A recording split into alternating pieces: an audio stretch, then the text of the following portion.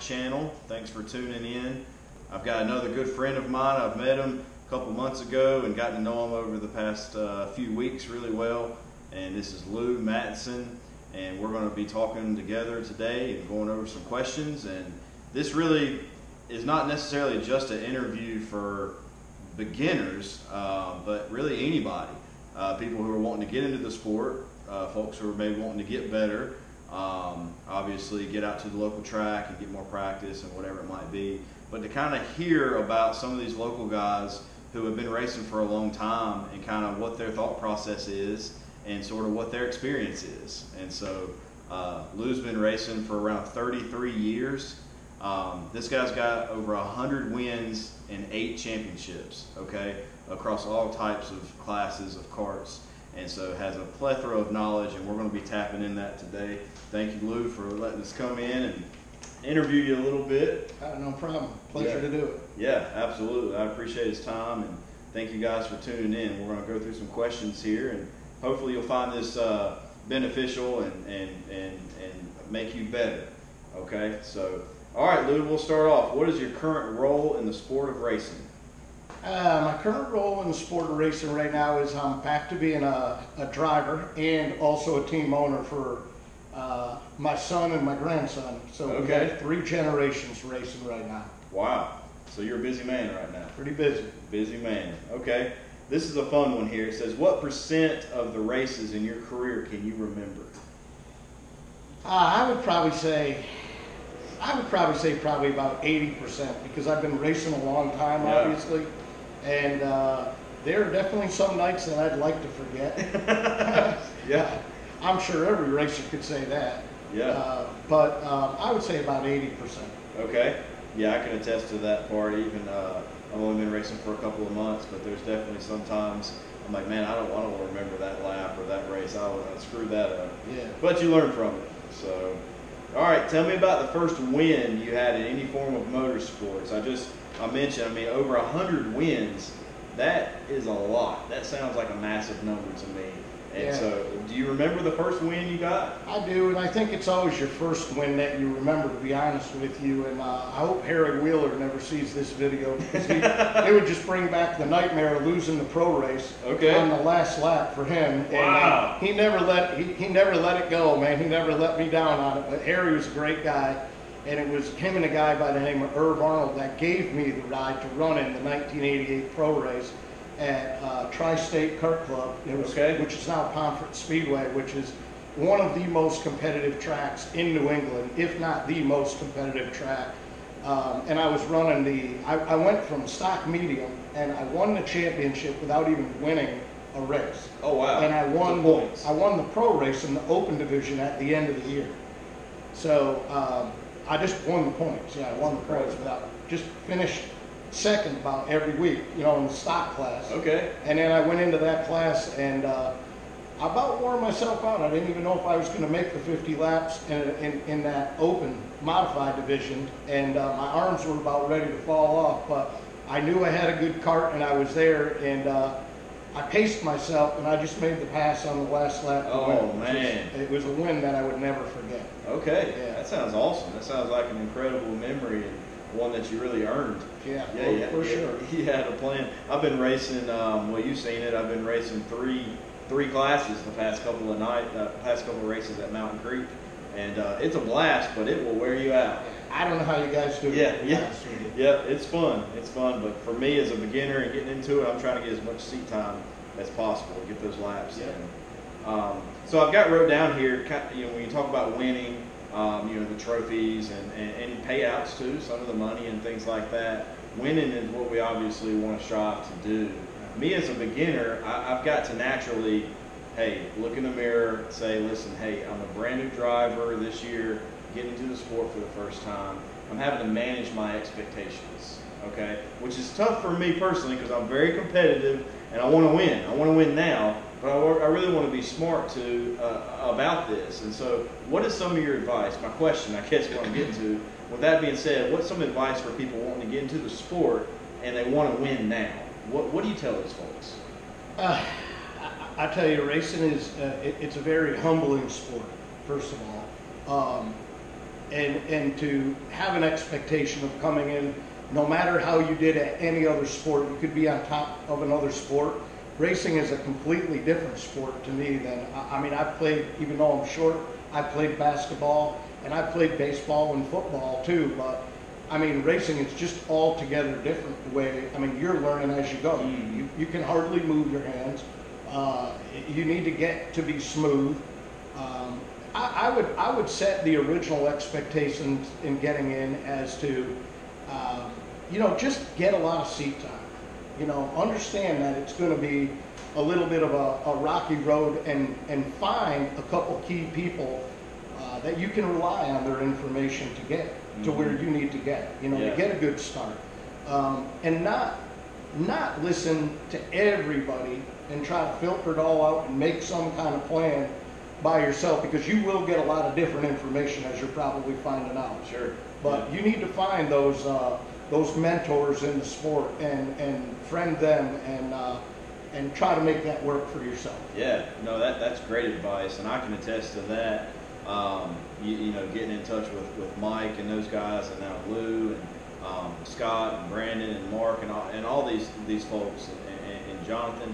I mean, if I keep naming names, I know I'll miss somebody, but I got a lot of folks who who are have open, I guess, welcomed me with open arms, and I appreciate that, and and I welcome the advice. I think one of the tough things as a beginner myself uh, with me not being a wrench head and not you know building transmissions growing up or building engines is trying to learn the, the language of motors and clutches and gears and things like that let alone driving the kart so um, again I, i'm a clean slate and i've told you guys on my channel that from the beginning um, you, you know i know that i don't know it all and so this has been a, a humbling experience like you said as well getting behind the wheel but it's also been a really neat experience to meet some really, really cool people.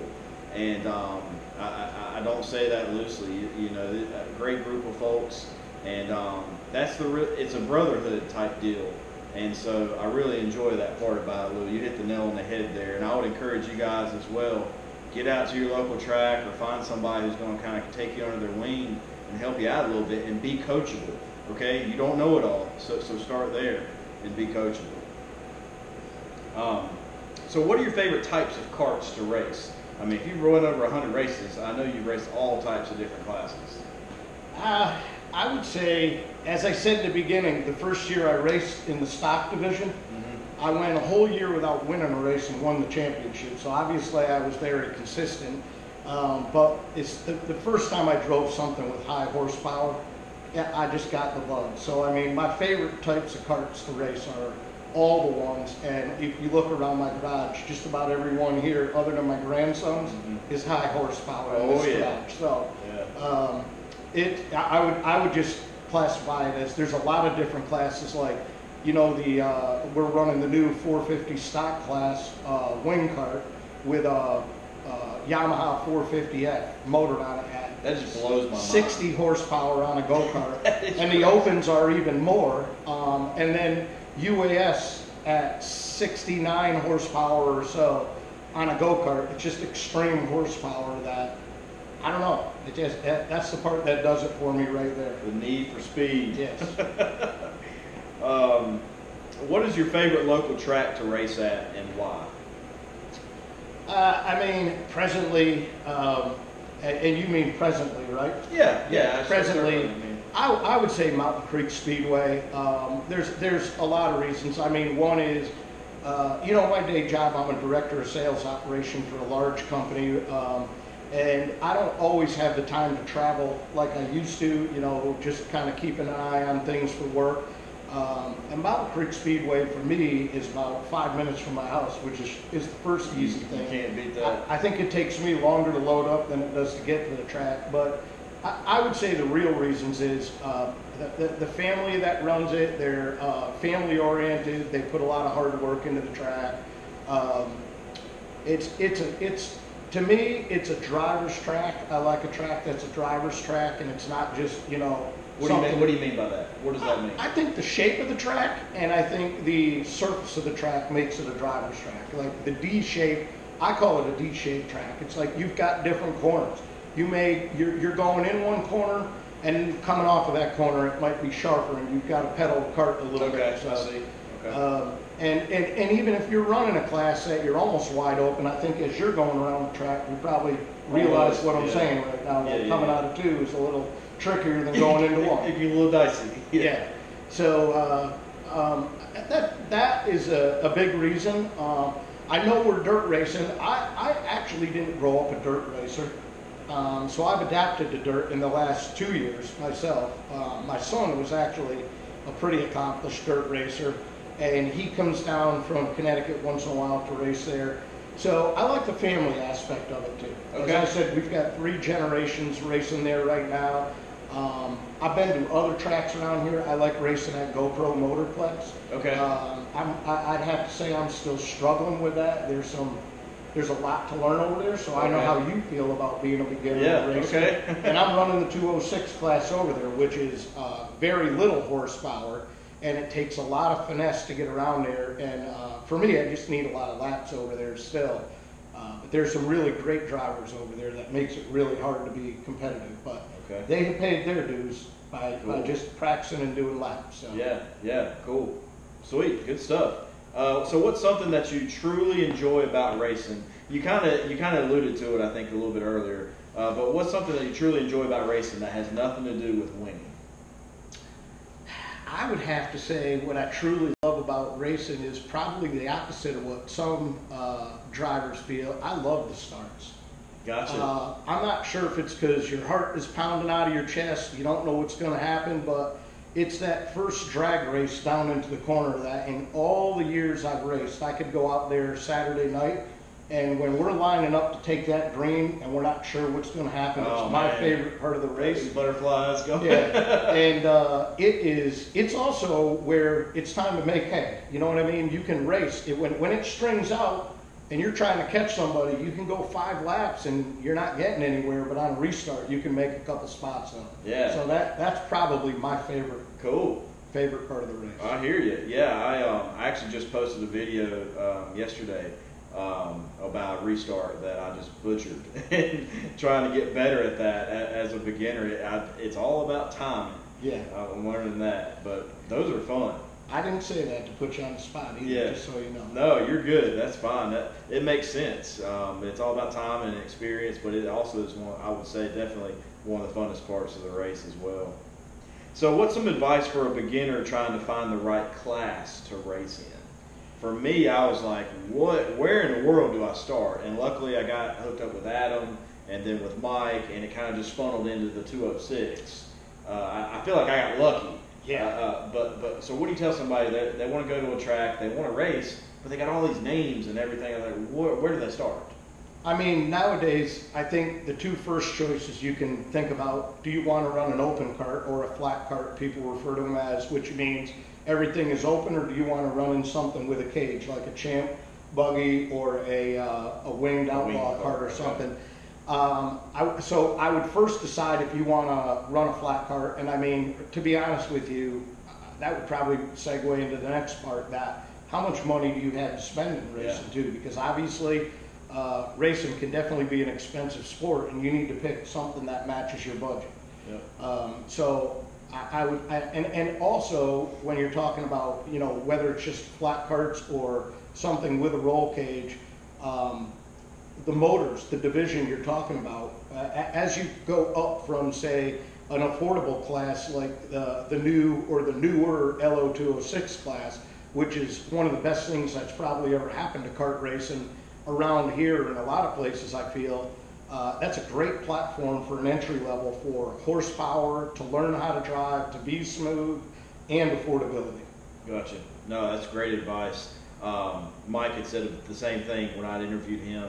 He's like, you know, be real with yourself and, and Yeah. give yourself a chance, you know, to, to try some things and, and, and not lose your tail, essentially, and to continue to try to have fun and get better and kind of go up in, in baby steps, Yes. so, so to speak, and, Yeah. and that'll help point you in the right direction.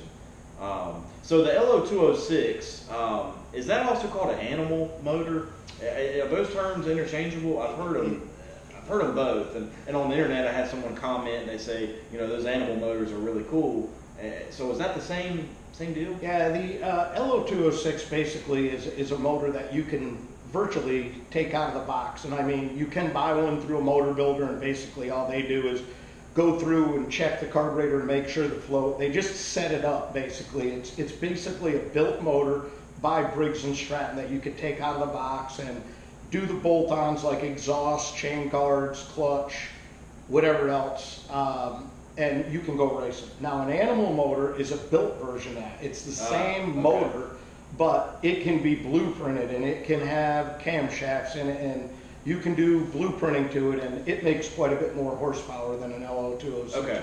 I see. Gotcha. So they look the same, but there's a big difference in Gotcha. horsepower and, and cost. Okay, perfect. Good explanation. Um, so, what are some of your, uh, or who are some of your fo- uh, favorite local racers to watch and kind of follow and keep track Ah. of? That's a great question. Um, I would have to say some of my favorite racing uh, at, at, at our track, Mountain Creek Speedway, uh, has been you guys. Oh Because- yeah, the Because I, The I, I 206 always guys. make time in my night to, to get up to the fence and, and watch uh, some of the guys I know that I've helped some of them out with either helping them set up their kart or helping them Yeah. set up their motor or or things like that. So some of my favorite drivers, uh, I, I'll be honest with you, now that I now that I know you, I like to go up and see how Yeah, you're yeah. doing and progressing. But Scott Gilliland, Oh. um, Brandon Agee, I mean um, Chris. Uh, I'm trying to think uh, of Chris. Birdsall. Chris You know he won his first race. He did win his Yeah. first race, which Yeah. was great because he just bought a kart off of Jonathan Setzer and, Man, and they set it up and man, he was going good, man. I was happy for Chris, but um, he uh, his it your racing is just so close, and I think that's what you're finding out. You found a class that it's affordable and it's so competitive that if you want to race, that's what it's all about. I Yeah. mean. You, it, it could go any way on any given night. Any one of you guys could win. And Yeah. As you're getting better, I think you're getting overdue for a win. It's Yeah, time, yeah, know? I can feel it getting closer. Yeah. Uh, I'll, I'll probably see that some of the advice is going to get dialed back. Yeah. from some of the guys. Yeah, well, I don't race in that class. You can come see Yeah, me. yeah, that's fine. But no, it's all good, man. I, I love to compete. I've, I've played baseball my whole life and uh, played in college and, and did all that. And, and I just love to compete. And it's been, I guess, 10, 15 years since, since school. And, and um, you know, I miss that brotherhood and, and competitive spirit and, and all that. And this is just, I'm telling you, hit the nail on the head. Um, especially 2020 and the year everybody's had. Yeah. You know, I, for me, it's just come at a perfect time. Yeah, and I'd say, you know, aside of that class, there, I'm, I'm also very intrigued. Like, like I told you, I love the horsepower classes, and you know, when you see families like uh, uh, Chris C. and his son Evan come to town with their Run What You Brung or UAS karts, uh, it's a fa- great family operation. They're great. Jonathan Setzer, who I travel to different races with. Um, I, I I would say, you know, Jonathan Setzer is another person that's like me. He loves the horsepower classes. I mean, can he can he drive in the 206 class and can he run up front? Absolutely. I mean, he's been around dirt race. He's taught me a lot about dirt racing in the last couple of years himself too. But then when you get to GoPro, that's a whole nother clan over there. Okay. That's something that I would definitely suggest you trying. Yeah, To Scott get- was telling to- me uh, about that the other day. Yeah. he said it'd be great to get some good experience. It, it definitely would, and I mean, whether you do the rental league or you go over there with some friends, and uh, I even have a car. I go over there and practice and run occasionally with. But uh, when I'm over there, I would say the guys over there would be, you know, the number one guy I probably watch over there is Doug Rankin. If he comes to town even on dirt, I think you'll you'll get to know him pretty quick because he'll be running up front. But um, his his strategy and the fact of how many laps he's got over there and how smooth he is. And you'll always see him at the front of the pack at the end of a race because he just knows where to be Mm. and, and, and when to pick a fight out there or not. Okay. And he's always he's he's just a survivor out there and he's there when he needs to be there. But I, I watch him more for the strategy part and I hope if I am gonna continue with road racing, I hope to be there right on his bumper one of these days. Cool, sounds good. All right. Well, um, tell me a little bit about the hardest thing for beginners to learn in racing. What What do you think it is? What's the hardest thing for a beginner to learn in racing? Uh, that's a good question. Um, I would say you need to slow down to go fast. Okay. if that makes any sense. I wasn't expecting you to say I mean, that. you'll probably hear a lot of veteran drivers tell you that you, if, if you if you stand back and you watch races, if you watch a lot of the veterans and uh, the way they drive, they're sitting out there, they are so relaxed in that seat, Okay. and they're letting their body do what it needs to do in a car. And you'll see a lot of new guys that are all hunched up on that steering wheel, and especially on a start, which is what I told you about Yeah. Um, that they're they're holding themselves up on a steering wheel, and it, it's usually the first sign of it's not going to go right, you know. Gotcha. So they need to kind of like relax, and you need to almost find a way to get things to slow down because in racing things are happening very fast. You Right. need you need to learn those instincts, and you need to slow down to go faster. You need to not overdrive corners to go through the corner faster because the corner you need to break that corner down into a lot of pieces because any any track if you were to unfold a corner it's probably longer than the straightaways. Yeah, no, that's that's true. I Yeah. can definitely see that. Okay, good. All right, so who should I interview next? What do you think? Ah, there's a lot of good guys out here, a lot of great racers. I'm gonna get to everybody. I mean, I would probably say the guys that I'm watching right now are are veteran racers. I would definitely suggest that you should interview uh, Jonathan Setzer. Um, I would try to get on the phone and interview Doug Rink or Scott Gilliland. These guys love to race.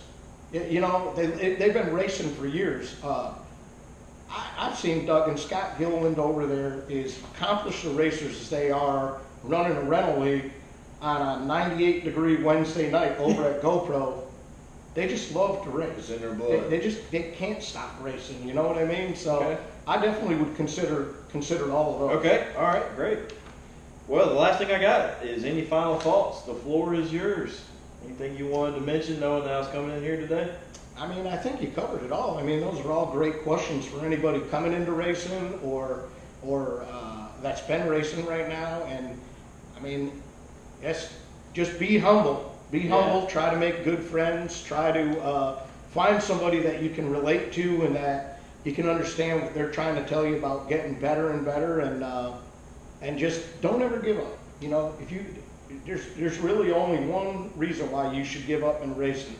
Uh, if you're just flat out of money, Yeah. you can't you can't race if you can't if you can't afford to go. I guess. I got you. Okay. Um, don't don't give up. Times get tough, and I, I mean there there have been some really good drivers over the years. Like, uh, I- I mean you may not know this name, but he was probably you know one of the most accomplished modified drivers up in the Northeast.